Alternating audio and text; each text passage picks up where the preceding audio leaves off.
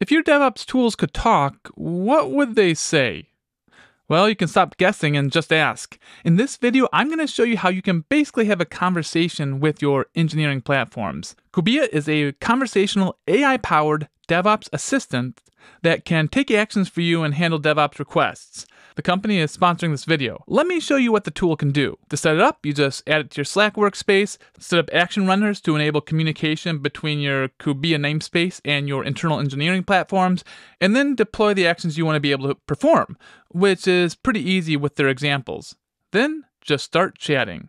So first, let's just ask it what it can do. It uses six different LLMs to answer questions and perform actions, and it can do tons of things like run CI jobs, list deployments, create and manage Kubernetes namespaces, update configuration files in GitHub, trigger Terraform, and much more. What about specifically in AWS? So there's a bunch of things you can do, and you can add additional things with the actions. But let's list the EC2 instances.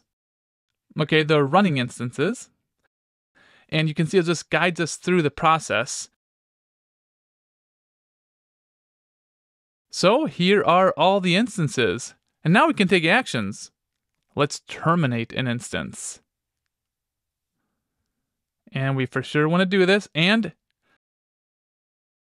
the instance is terminated. Let's see what it can do in GitHub. So a bunch of things.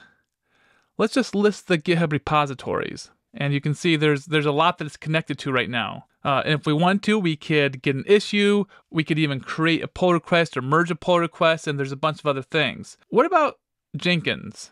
It can do a lot of things you'd want in Jenkins. Let's just list all the builds on job one. Okay, we got the builds. And we can do a bunch of stuff in Kubernetes as well. But just seeing this list of things it can do may be kind of boring. Let's find out what it can do in the form of a poem. I can integrate AWS SES with Jira, automating emails, making tasks clearer, database tasks, fear not, I'm here to aid, querying data, CRUD operations, I've got it made, and so on.